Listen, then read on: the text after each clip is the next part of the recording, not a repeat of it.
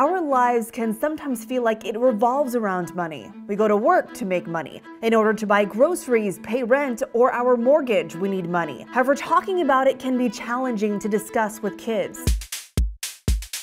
We're speaking with Gregg Murset. He's a certified financial planner and CEO of an app called BusyKid, where kids learn about money through doing chores. We're trying to mirror reality for kids because I believe that kids they learn the best when they're doing it. It's an app where kids learn about payroll, stocks, and being responsible about money.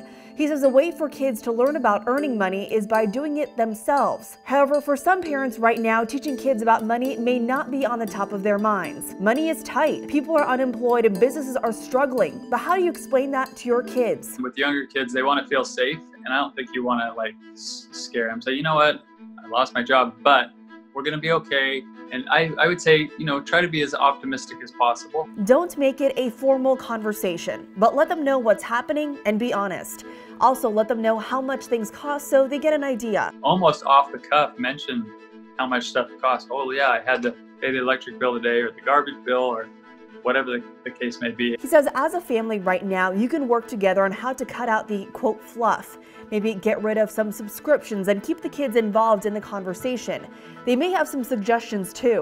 Got a personal or business finance question that needs an answer? Let the Dollars and Sense team know by texting us at 916 321 3310.